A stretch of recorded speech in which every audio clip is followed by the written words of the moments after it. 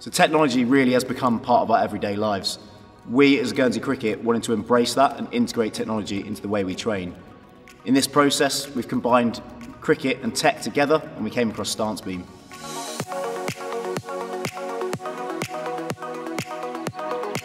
We've been using StanceBeam now for some time. The accessibility is what I really like about it. It bridges that conversation for me as the coach and with them with the player. Using real-time stats and data, that really aids me as a coach to be able to watch through the players, go through it and analyse it there and then. So obviously some people are visual learners, uh, so with the app and the videos, it's awesome for them just to watch back videos.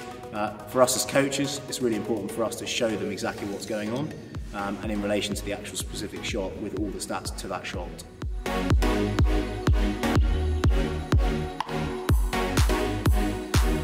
That every child, every player's got a, a mobile phone. The app can be quickly downloaded.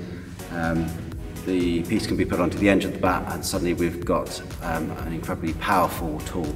As a coach as well, being able to convey it in a way where it can help them grow into every aspect of is really important to me.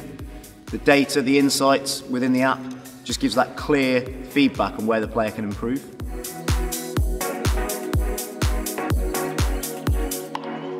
I also myself use as my own game. I'm still playing for the national team, so I actually analyse my sessions post-session after recording the session when I'm at the training. Benefit this data being available on the player's phone, it really allows them to watch it back in their own time. At the session we can focus on key areas, after we can give them feedback, look at the app, they can do that from the comfort of their sofas.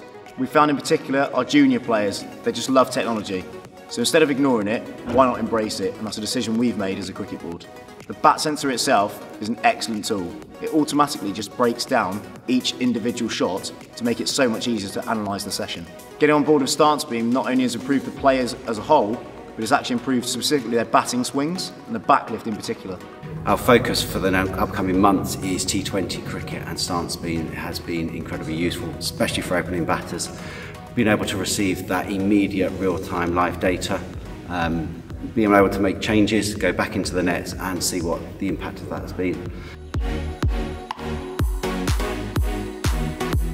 What StanceBeam lets us do, whether it's on your phone, your iPad or even the desktop dashboard, just allows the players to access that real-time data and really achieve their own success.